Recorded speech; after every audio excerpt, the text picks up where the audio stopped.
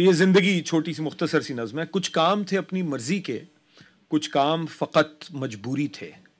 फिर वक्त बहुत ही थोड़ा था और सारे काम ज़रूरी थे।